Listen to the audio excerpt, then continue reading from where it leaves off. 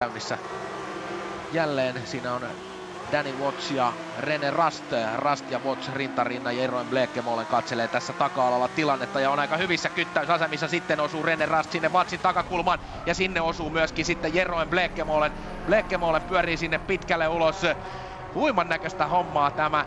Tässä on nyt sellaista todellista taistelumakua ja näin on sarjan pistejohtaja Jeroen Blekemolen ulkona kisasta.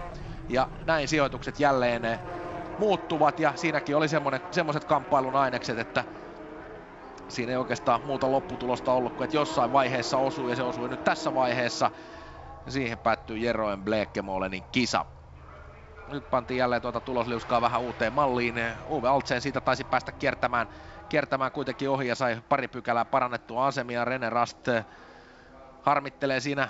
Tosta nyt on vaikea tosta sählingistä sanoa, että kenen syy se oli.